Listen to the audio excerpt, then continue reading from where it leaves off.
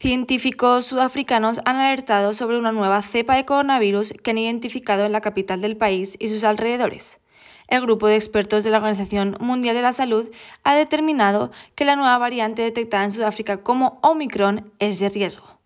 Por la parte, las autoridades han mostrado su principal preocupación por el alto número de mutaciones que presenta y la rapidez de contagio respecto a otras variantes aparecidas hasta ahora. Muestra 55 mutaciones respecto al virus original de Wuhan. Los síntomas aparentes de la variante son fatiga extrema, taquicardia, fiebre, pero con una novedad, no perderemos ni el gusto ni el olfato. Según científicos, aún no se conoce su alcance total. Varios países como Reino Unido, Italia, Austria o Portugal ya han confirmado casos en sus territorios y han tomado una medida igualitaria, prohibir los vuelos tanto con Sudáfrica como con Botsuana, Zimbabue o Mozambique.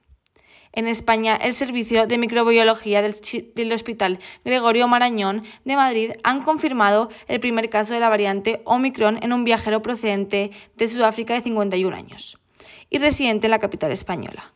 Ante un problema que se vuelve a agravar sin precedentes, la presidenta de la Comisión Europea, Ursula von der Leyen, ha anunciado que analizarán la posibilidad de coordinar la prohibición de vuelos con salida o destino a la región del sur de África.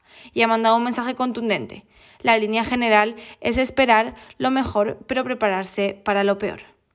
¿Qué podemos hacer frente a una nueva variante? Por el momento, cumplir con la vacunación, usar mascarilla, mantener distancias y ventilar los recintos cerrados siempre que se pueda.